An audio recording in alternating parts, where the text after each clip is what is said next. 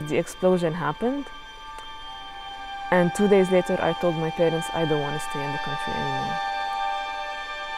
I told them I will do anything to leave. I think many people forgot to trust in life, and that's for me really important to be a human.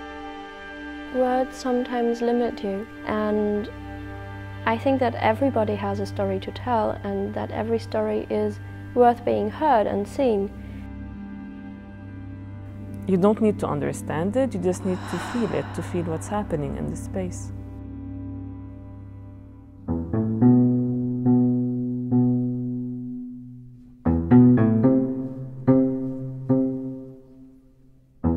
Die Menschenrechte sind zunächst mal etwas sehr Abstraktes.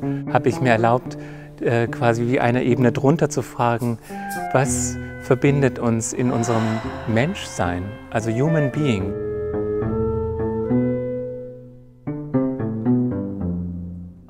Somos puntos individuales. Cada uno tiene una individualidad diferente, pero luego lo hermoso de todo esto es que cuando haces arte conjunto, durante ese tiempo tenemos que ser uno.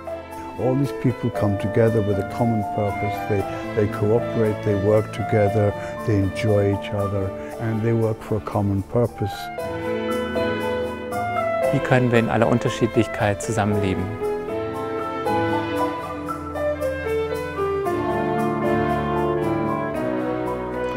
Everybody has those feelings, the psychological feelings.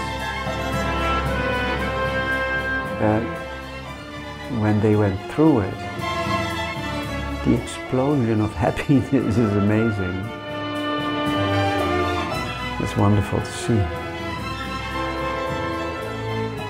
I don't know why, but somehow there was like a little sentence stuck in my head, and that was as long as you're dancing, nothing else matters.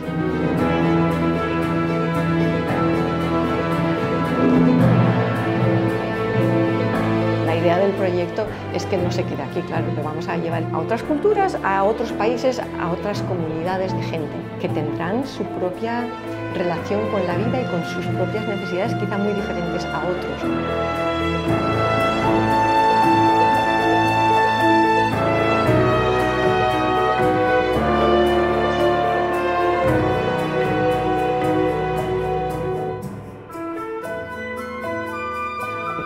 Beautiful to dance it because I was connect, I don't know, it was like connecting with the land, a land that reminded me of my land, of my future, of my country, of what's happening.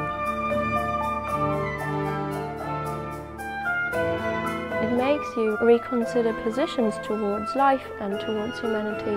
For me, it is an opportunity to express things and to, to ask questions to myself.